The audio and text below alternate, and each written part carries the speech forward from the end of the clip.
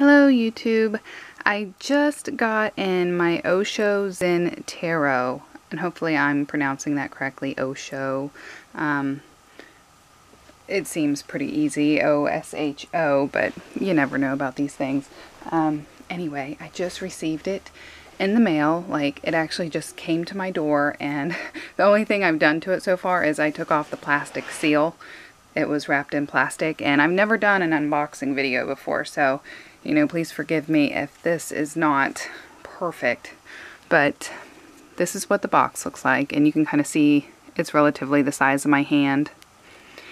And it's very beautiful. From what I know about the cards, I have a friend who has the cards, and I've been wanting them for a while. Um, well, from what I know is they're kind of, they're tarot, they're considered tarot because they are kind of based on, you know, the Rider-Waite system, but yet they're so very different that I, I personally almost put them in the Oracle deck um, category. So we're going to open them up and we're going to kind of look at it. Here's the box, the side, the back. I'm not going to read all that to you. It's from, oh, illustrated by Ma Deva Padma. If you can see that. And I, I personally, I have seen the cards before. Like I said, I have a friend who has the deck. And I love the artwork.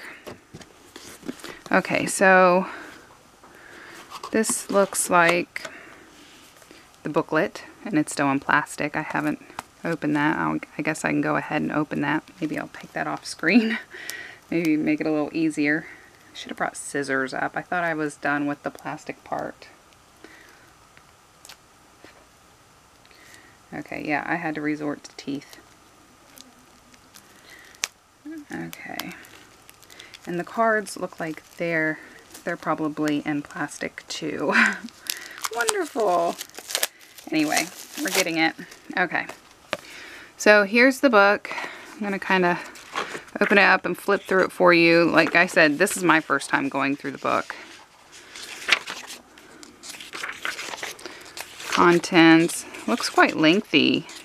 Talks about the minor arcana a bunch. An introduction. How to play the transcend transcendental. Oh my god, I cannot speak today.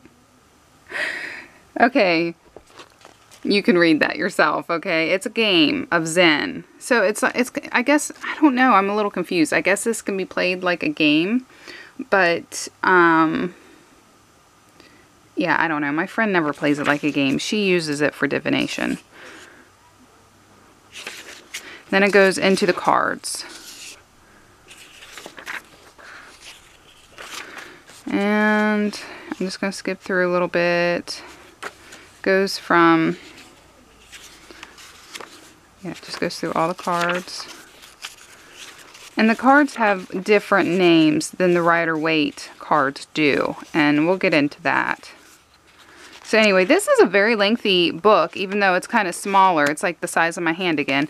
Um, let's go ahead and get into the cards so I can show you. I won't show you every single card, but I will show you a good little portion. So you get an idea of the artwork, of um, the system itself, how the cards are named, and I'm going to move this box here. Okay, so this is what the back of it looks like. I don't know, it almost reminds me of kind of like either some kind of musical bar or some kind of sloppy handwriting. I'm not real sure what that's supposed to be. If you know what that, if, the, if it's supposed to be anything in specific, please let me know because I don't know. But it is pretty. Okay, and it's it's really different. All right, so, oh, they're getting away from me. Now, the size of the cards, they're not real big, and of course, like I like I said, I knew I know somebody who has this deck, so I knew that they wouldn't be like a really big card, but they're not really small either. This is not what I would call a mini deck. So, I mean, it's just the box was like the size of my hand, so this is obviously, it's a little smaller than my hand. I'm not sure what I could get to compare in size. maybe one of my other decks. Let me see here. I'm just grabbing what I have available. Okay, so here is a big card. This is what I call a big card anyway, from the Wisdom of Avalon Oracle deck. And that's the size of it. And this is the size of the Osho Zen. So it's quite smaller. So, but I do, I like how it's rounded at the edges.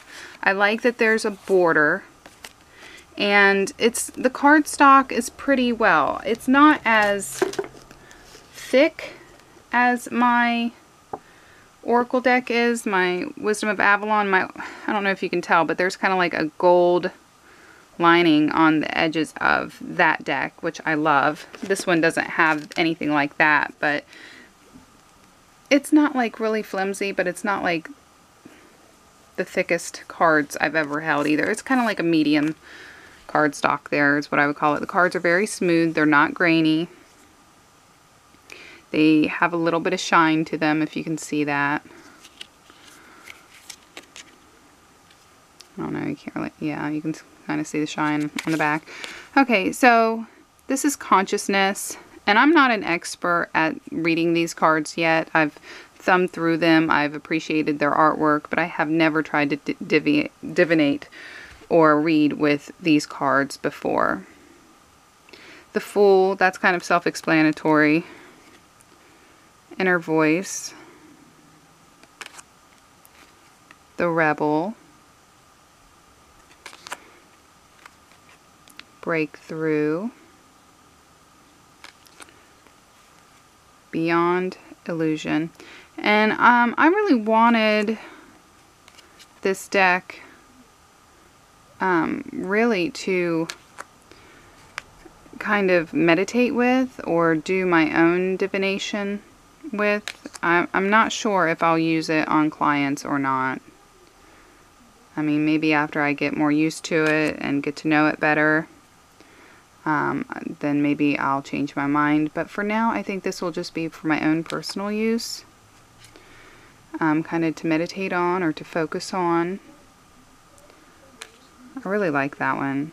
To me, I mean, that that's that's the wheel. It says change, but it's the wheel.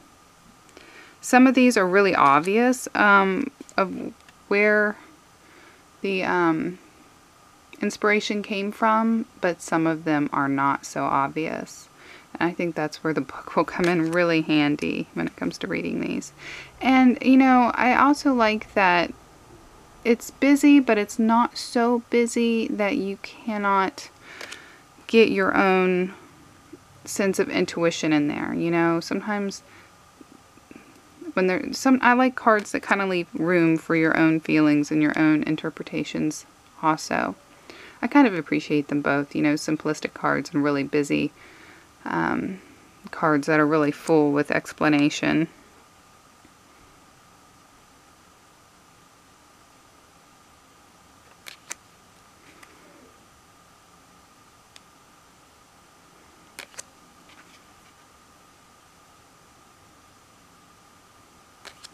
And just for the sake of time, I'll just kind of skip through a little bit.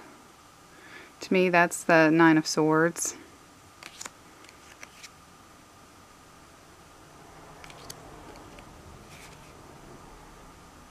And there are 79 cards um, in the deck. So, yeah, and at the bottom it does say um, the transcendental game of Zen. There I said the word finally. I knew I could do it. Okay, you can probably hear my kids downstairs. Um, to me, that's maybe the, either the Ten of Swords, maybe the Four of Swords, I'm not sure. Like I said, some of these are really easy to tell where the inspiration came from with the Rider-Waite Tarot, and some of them are not. And they have these little symbols down here at the bottom that are different. I'm sure, I mean, I'm not positive at this point, but I'm pretty sure that, you know, they mean they're um, in short for the elements of fire, water, um, air, and and earth, but then some of them have numbers. So there's a little more into it. Than, this may be like a major arcana card. Maybe that's what that is. Um, here's strength, but it says conditioning. But I'm pretty sure that's the strength card with the lion. And the lovers, and it's called the lovers. And you, I found this deck on Amazon. A lot of the decks that I wanted, I, I was having a difficult time finding, but um, then I remembered, hey, you know, I remember that deck and I, I really liked it, so I went ahead and bought it. And don't quote me on the price, but I don't think it was any more than $30. I don't think it was that much. I think it was between 20 and $30, like maybe $21 with some tax in there. So um, it's fair. It's a fairly cheap deck, and um, it's somewhat of a high quality deck for the price. I mean, you're getting a lot for a little. I mean, some decks are so expensive. You're like, oh, they better be good, you know. But this one, I'm I'm really pleased, considering I only spent twenty one dollars from Amazon to get this. And there may be other places out there to buy this deck. I'm just not aware of them.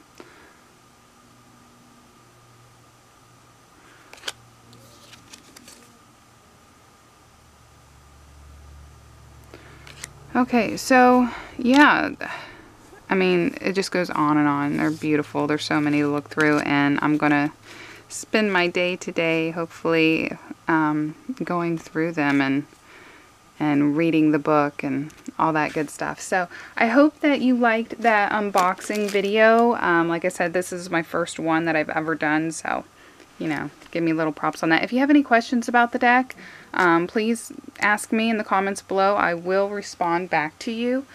Um, if you want me to, I don't know, go through, if I missed out something, you know, I know I touched on the card stock and the feel of the cards. Ooh, look at that card.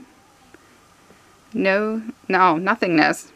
So, yeah, it's just blank. I love that. I love that. So, yeah, if I missed out on telling you anything about the cards, please let me know in the comments below, and I will try, well, I will. I will definitely get back to you on that. And um, watch for um, maybe more videos, I ordered another one called the Spellcaster's Tarot. And um, if I have time, I'll also do an unboxing of that one when it comes in. So that that's it for this video, and hopefully you liked it. Give it a thumbs up and subscribe if you haven't subscribed, because I do the um, the monthly tarot readings for y'all. If you haven't seen those, please check them out. And until next time, God bless.